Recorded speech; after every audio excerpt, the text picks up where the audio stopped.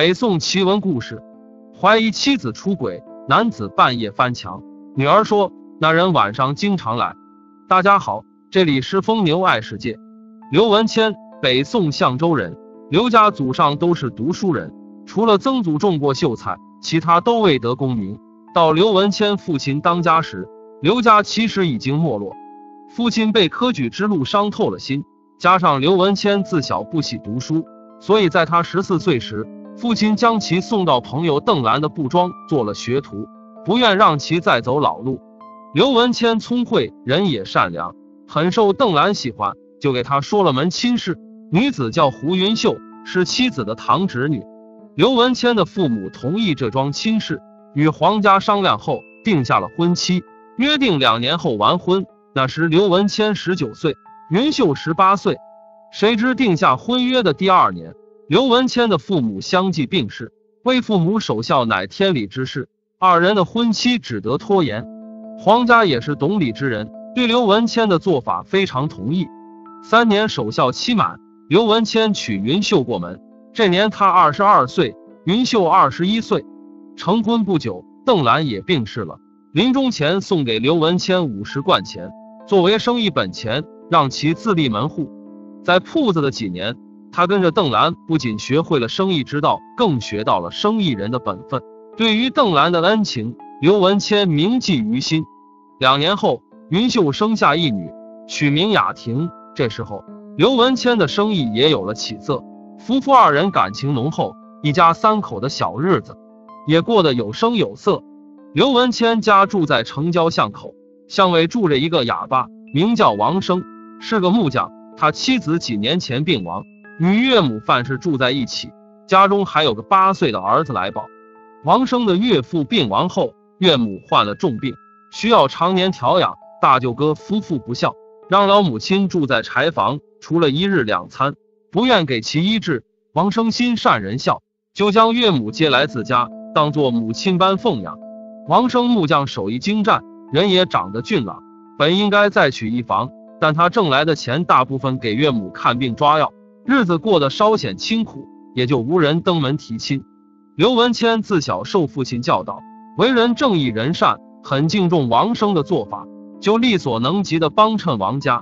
来宝的衣服破了，他会让妻子云秀帮忙缝补；走伤时还经常寻医问药，希望王生的岳母能早日康复，让这家人摆脱困境。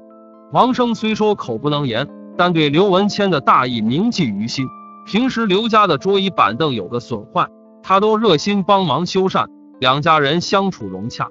这年春上，刘文谦往大名府贩货时，揪住了一个外乡人，此人名叫杜广西，楚州人，是个绸缎商。此次来大名府收债，不慎丢落钱袋，才落得如此下场。杜广西感恩刘文谦的义举，就对他说：“这里是北京，人多富贵。”多年前我就想在此开家铺子，苦于找不到贴心之人打理，才一直未能如愿。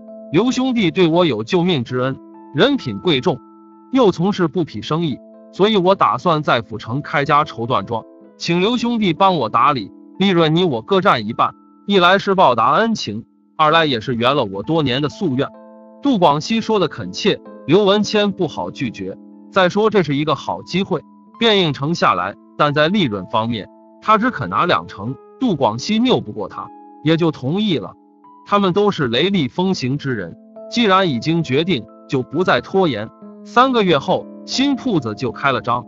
刘文谦不想辜负杜广熙的托付，一心一意的打理铺子。大名府城离家一百里，刘文谦两个月才回家一次。妻子云秀知道丈夫的秉性，也不埋怨，支持他的付出。转眼过去两年，铺子生意走上正轨，异常红火。刘文谦和妻子商量，等再过上一年，就在府城安个家，一家人都搬过去。毕竟自己马上三十岁了，需要有个儿子，为刘家延续香火。半年后的一天，杜广熙从楚州来到大名府，原来是楚州的铺子年久失修，塌了一间。杜广熙干脆暂时停了生意，重新翻盖。借着这个机会。他将翻盖事宜交给老伙计，自己亲往大名府替刘文谦看一段铺子，让他回家好好陪伴妻女。刘文谦也有些想家了，将事物交给杜广熙，买了些妻子女儿喜欢的东西，即刻动身返家。因在路上耽搁了些时间，快到家时已经临近二更。他不想惊扰妻女，就准备在西墙翻进去，先在偏屋睡一宿。刚绕过巷子，忽然看见西墙上有个人影，正欲翻墙而出。天黑看不清样貌，但从身影可以看得出来，这是一个高大的男子。刘文谦的第一反应认为是贼，他赶紧追上去，想要抓住此人。那人或许是发现了刘文谦，急忙一跃而下，不慎摔了一跤。他爬起来飞奔而去，转眼就消失在月色中。他担心妻女安全，急忙跑到院门旁，使劲敲打。片刻后，屋内亮起烛光，然后屋门一响，传来脚步声，随之问道：“什么人？”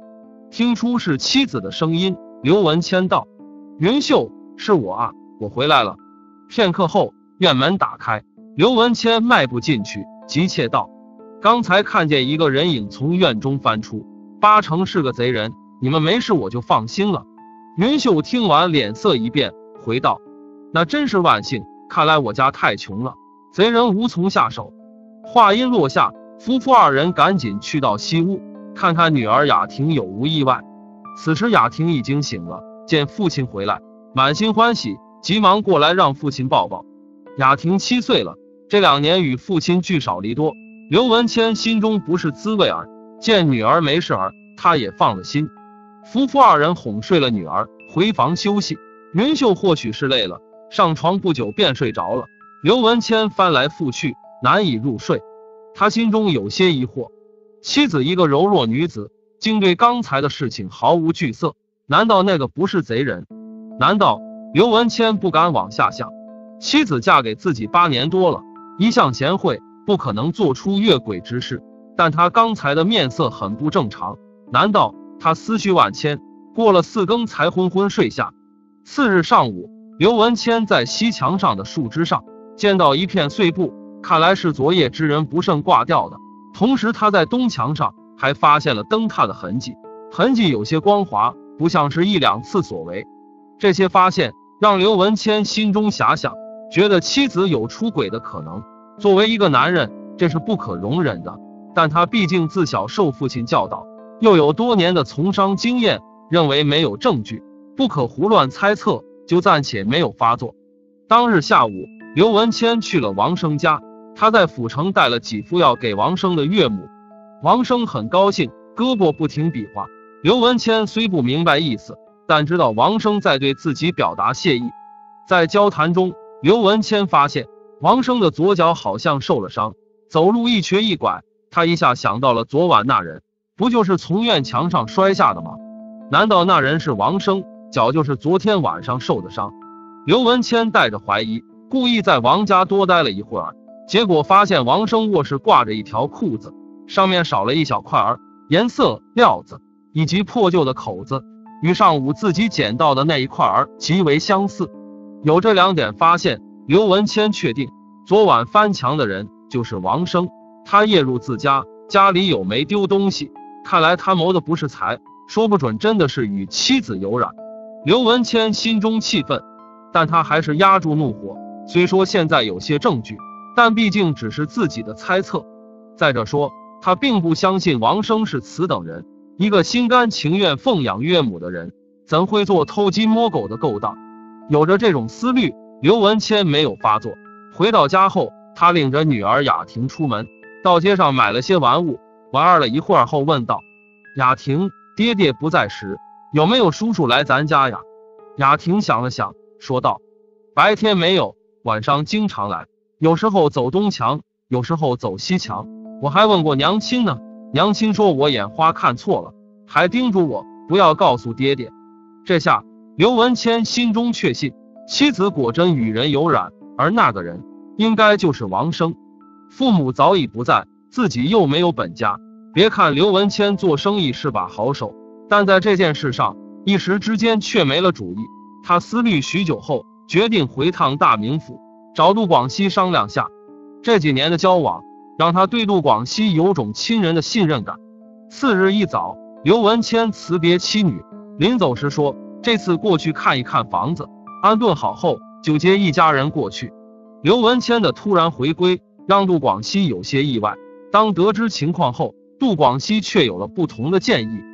他对刘文谦说：“兄弟，这种事情一定要调查清楚才能决断，不能草率行事。按照你对弟妹和王生的描述，我不太相信他们会做出苟且之事。或许这里面有误会，有时候亲眼见到的也未必是真的。”刘文谦道：“我也不敢相信，可夜入我家的确实是王生。奇怪的是，雅婷小小年纪。”都察觉有人入院，而云秀对此却只字不提，这难道不是有问题吗？杜广西道：“心有疑虑就要揭开，细细观察才有结果。这样吧，我们将铺子暂交伙计打理，稍后我就陪你回相州一趟。回去后不通知任何人，也不进家门，在你家周围隐匿下来，观察几个晚上。若奸情是真，就将二人交于衙门；若是误会，就要知道缘由。”这样既不会冤枉他人，也能保全脸面，岂不两全其美？这话说的有理，刘文谦也认同。于是二人将铺子暂交老伙计冯武照看，上午时分就出发了，一人一匹骡子，加紧赶路。当日出更就回到象州，两人在城郊找了家偏僻客栈住下。从次日晚间开始，一过初更，就去刘文谦家附近眯起来观察动静。当晚临近二更。有个人影从巷尾走来，在院子周围走了两趟，还在西墙处往里张望，稍后就离开了。大约一个时辰后，这人又来了，依旧转悠两圈，张望一下，然后离开。虽说离得不近，又加上是晚间，根本看不清此人的样貌，但从走路姿势和身影判断，此人八成是王生。次日白天，两人在客栈休息。刘文谦疑惑道：“怪了。”那人应该是王生，可他为何晚间在我宅子四周游荡，还隔墙窥探？杜广西道：“我岳丈家是豪富，养着十几个护院，那些护院晚间就是这样巡视的，有的在宅子内，有的在宅子外。我看这个王生，倒像是给你家做护院呢。做护院，难道我不在的时候，家里出过意外吗？”刘文谦疑惑道：“刘兄弟啊，我看你真是关心则乱啊。”你仔细想一想，王生宁可清苦，也要奉养岳母，说明他是一个知恩懂情的人。这些年你对他家有恩情，他虽口不能言，但感恩在心中。你不在时，家中只有弟妹和小侄女二人，若有不轨之人或贼徒入宅，那如何是好？王生晓得这些，甘愿偷偷做个护院，保护你妻女周全，这不是在报恩吗？杜广西的这番话说的透彻。刘文谦心中一怔，喃喃道：“对啊，以我对王生的了解，他还真的是个知恩必报的人。不要乱想了，好好休息。晚上我们再去，多观察几日，自然会有分晓。”杜广西说完此话，不再理会刘文谦，蒙头睡了起来。两人一连观察了四日，天天都是如此。看来这个王生确实在晚间保护自己妻女周全。可那天为何会从院中翻出呢？到了第五日晚上，临近二更，巷尾依旧走来一人。刘文谦仔细看了看，这人应该不是王生。人影来到西墙外，四处瞅了瞅，随后翻墙而入。刘文谦吃惊不已，就要过去追查，被杜广西一把拽住，阻拦道：“按照这个时辰，王生应该马上过来，不妨沉住气，再稍等片刻。”刘文谦心急如焚。却被死死拽住。片刻间，王生从巷尾走来，他到西墙处往里探了探头，然后翻墙而入。杜广西拉上刘文谦道：“走，我们过去，这就要见分晓了。”二人快步赶过去，还未到宅子门口，忽见东墙翻出一人。杜广西喝道：“抓住他！”这声大喝在黑夜中分外清晰，那人可能被吓了一跳，一个趔趄摔在地上。杜刘二人快步上前，将其按住。也就在此时，王生也从院内翻出来。他见到刘文谦，很是惊讶，嘴里呜呜两声，不知如何解释。刘文谦道：“王大哥，你过来按住他，我让娘子开门掌灯，倒要看看这个贼人是谁。”王生呜了一声，过来与杜广西一同按住那人，敲开门，掌上灯，将那人押到堂屋。刘文谦一看，不由得叫出了声。这人他认识，竟然是自己以前的朋友陈世亮。陈世亮的父亲与刘文谦的父亲相熟，算是同窗，但都科举一事无成。刘文谦与陈世亮同岁，自小就认识。后来陈世亮的父亲欠下一大笔债务，悬梁自尽，亏得刘家帮衬，陈世亮与母亲才渡过难关。刘家对他有再生之恩。有一次，二人同几个朋友在酒楼团聚，酒席之间，陈世亮竟说出垂涎云秀姿色的妄语。刘文谦非常气愤，要不是其他朋友拦着，定要暴揍陈世亮一顿。自从这次以后，二人便不再来往。刘文谦让陈世亮坐下，而后问道：“世亮，半夜三更夜入我家，究竟意欲何为？你若不讲实话，我即可就送你去衙门。衙门好比地狱，哪个不害怕？”陈世亮惊魂不已，只好交代了实情。原来陈世亮一直垂涎云秀的美色。他色大胆小，怕狗咬。虽知道刘文谦经常不在家，但也不敢白天前来骚扰。可心中对云秀的非分之想，随着时间推移越来越强烈。陈世亮曾经在刘文谦口中得知，他女儿雅婷自从四岁开始就单独睡在另一个房间，于是就趁刘文谦在大名府时，夜间偷偷潜入，准备用卑鄙手段占有云秀。说来也巧。陈世亮第一次夜入刘家那晚，王生去临镇做工回来的晚，恰好看到他感恩刘家人的恩情，便翻墙进去惊走了陈世亮。也就是从那时候，每到晚间，王生都会在刘家宅院旁巡视几遍，以保护云秀和雅婷的安全。刘文谦回家时，王生本打算将此事告诉他，但自己口不能言，刘文谦又不懂手语，也只好作罢。刘文谦准备过两年将妻女接走的打算，曾经在王家说过。王生心里盘算，不就是两年吗？自己就辛苦一些，照应这对母女周全，两年后就没事了。刘家这些年对自己的照顾，做这点事情也难以报答呀。刘文谦半夜回家的那晚，恰好陈世亮又来图谋，被王生发现，进院惊扰。陈世亮从东墙逃走，见来人逃走。王生从西墙翻出，恰好被刘文谦碰到。当时王生并不知道是刘文谦，惊恐之余挂破衣服，还摔了一跤，这才有了后面的误会。事情算是清楚了，刘文谦是个心善之人，他准备将陈世亮放走，此事就此了结。杜广熙一把拦住，从屋里拿来纸笔，对陈世亮说：“你把前世种种和今日之事全部写下来，然后按上指印。”若不照办，就送你去见官。陈世亮害怕，自然照办。写完后，杜广西收起来说道：“这份口供由我们保管，你若以后本本分分，这口供全当没有。如果还敢起疑心，就将其交到衙门。你走吧。”陈世亮虎口脱险，如丧家犬一般，灰溜溜而去。真相明了，刘文谦自觉有愧，他对王生和妻子说：“都是我不好，胡乱猜测。”希望娘子和王大哥不要介怀。王生抱了抱拳，又挥了挥手。刘文谦明白，王生这是不在意的表现，他不怪罪自己。妻子云秀道：“相公哪里话，为妻哪敢责怪？你也是无心之失。其实，在半年多前，我就察觉有人夜入我家，雅婷也同我说过。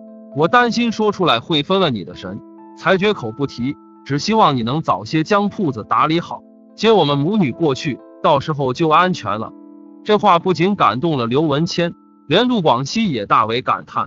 弟妹真是大义之人，这事全都怪我，没有考虑刘兄弟的实情。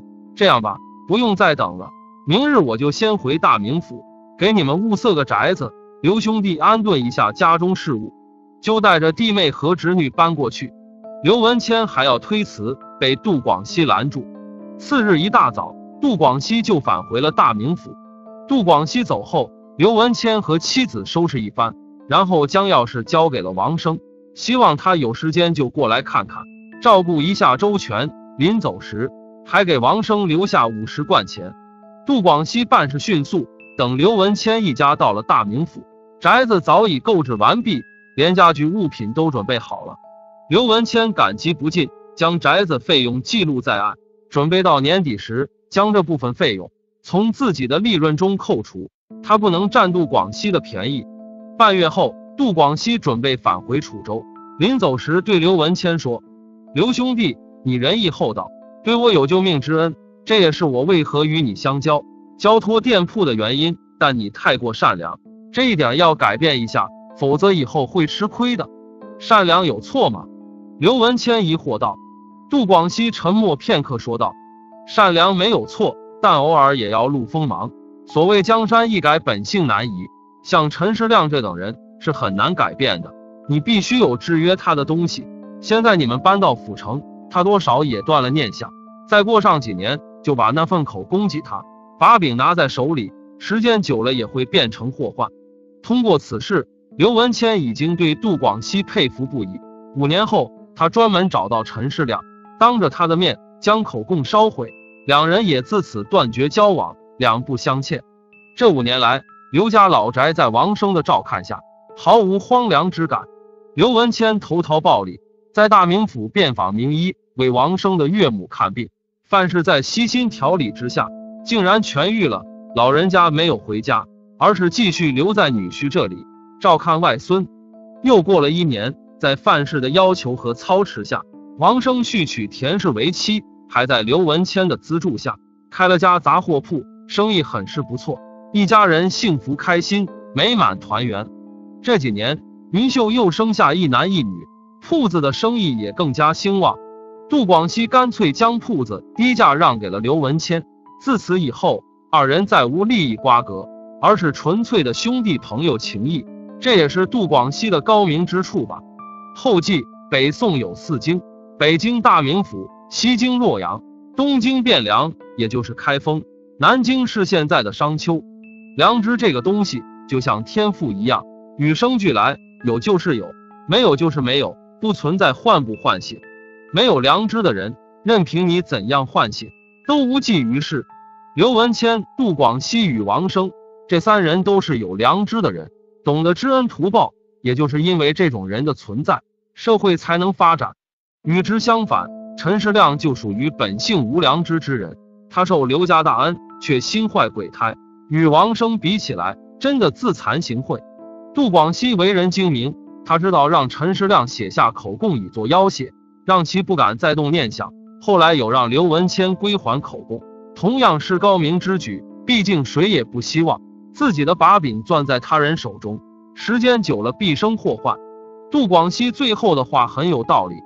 善良本无错，偶尔露锋芒。好了，本集节目就和大家分享到这了，感谢您的观看，我们下次再会。